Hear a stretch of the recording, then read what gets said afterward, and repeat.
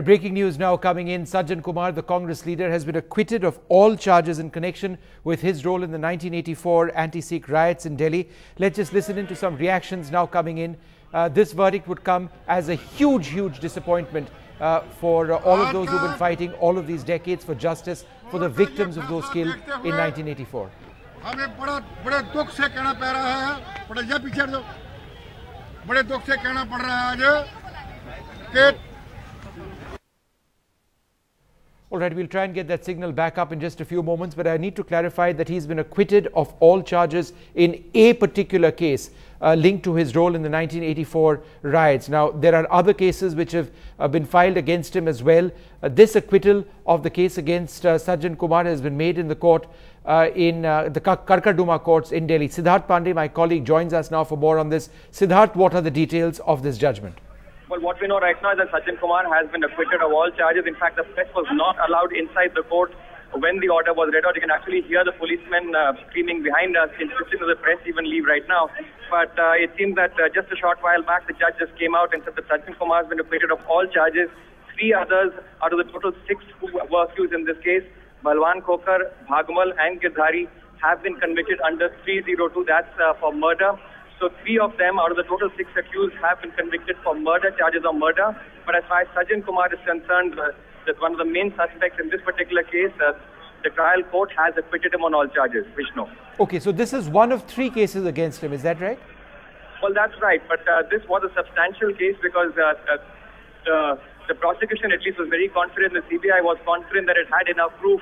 It had solid eyewitnesses. What the CBI had claimed. This is a big blow as far as the CBI is concerned, as far as those uh, who've been fighting for justice in 1984 are concerned.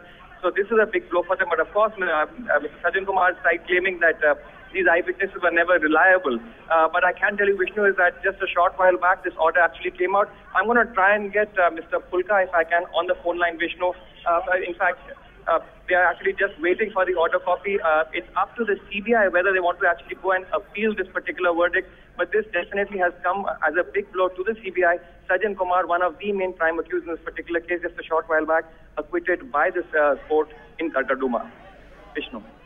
All right, Siddharth, uh, what are the implications of this, if any, for Jagdish Tytler, or are the cases against Jagdish Tytler completely different?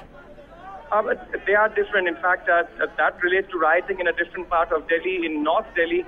But clearly, the fact is that after all these years, after almost three decades, what uh, the prosecution has been saying and what the victims' families have been saying, that it's very tough to actually gather evidence. And obviously, with the passage of time, it, it, it gets very difficult to get evidence. Uh, they've been claiming that there has been intimidation of witnesses, but in this particular case, they were confident of at least some kind of conviction. So it'll be interesting to see exactly how the judges uh, sought a distinction between uh, Mr. Sajjan Kumar and the others. The fact that actually he's gone ahead and convicted at least three of the six accused uh, for, on charges of murder. Uh, the actual order copy, like I said, has yet to come out. The press was not allowed in to the courtroom when the order was read out. The room was completely sealed off. And a huge contingent of press actually had gathered since the morning. Uh, we were actually asked to leave the room uh, or, or ostensibly for security checks, not allowed back in when the orders were read out. But what we can tell you at this moment is that Sajjan Kumar has been acquitted of all charges uh, against him and he was charged with murder and rioting as well. So he's been acquitted. Uh, as far as three of the other accused are concerned, uh, they have been uh, convicted under 302 and that's of course for charges of murder. And these include Balwan Khokar, Bhagmal and Girdhari. The rest of the order, Vishnu, we'll just have to wait and see because this order was not read out before the press. Vishnu.